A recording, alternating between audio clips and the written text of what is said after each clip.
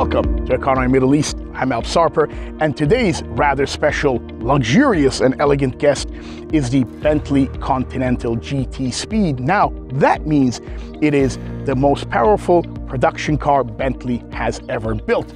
Under the bonnet sits a whopping W12, that's a 12 cylinder, 6 liter, 650 brake horsepower engine, producing 900 newton meters of torque, and its top speed is an astonishingly fast 335 kilometers an hour. Let's not forget, this is a 2.2, 2.3 ton car. Now, compared to the uh, more regular GTs, Continental GTs, there's a whole lot has changed with the suspension as well as the gearbox, making the gear changes 50% quicker than the previous ones. Today at Economy Middle East, we're gonna do something a little bit different. I'm gonna grab a GoPro and we're gonna go around the car and look at the interior as well to give you a better idea of what this magnificent piece of beautiful machinery looks like.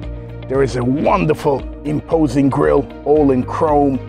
You have this new kind of front of the Bentley, which is soon to change. Headlights are gonna go kind of thin, very beautiful, elegant, yet aggressive. As you move to the side, you get these massive 22 inch alloys, beautiful, with carbon ceramic brakes. You have speed written there, and then 12 even furthermore, ensuring you know that this is a W12 boiler on purpose. You can do it manually just so we can all see it. At the back, you have the quad exhaust hidden by these, you know, exhaust housing. Of course, there's two exhausts there. That's just about enough for the mighty W12 6 liter. You press this button and then the boot opens. Let's move on to the interior of the beautiful Continental GT Speed. They've gone for the black and white and chrome heavy. You have the upgraded Naim stereo. Here are the keys. Let's turn that on. I like that they've kept a lot of the buttons still here. Um, a lot of cars opt for completely touchscreens. I'm not a big fan of that. This screen is particularly nice. Bentley introduced this a few years ago. Here you have the outside temperature, a uh, compass, and a stopwatch. And then if you turn the car off completely, then it goes back to and blends in with the rest of the trim here. Beautiful steering wheel.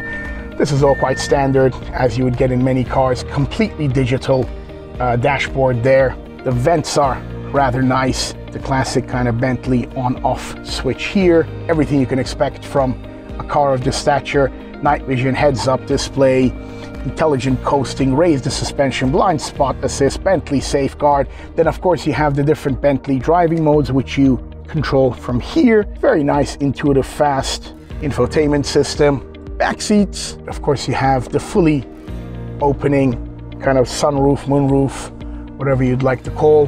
That gives a nice spaciousness, and this is nicely kind of darkened. It's uh, so that it holds the heat. Et voila, there we go. W12, a very, very beautiful, tidy engine. The Bentley Continental GT Speed, a truly magnificently beautiful, luxurious, and excellent performance car. For more economy, lifestyle, and automated related news, why not follow Economy Middle East?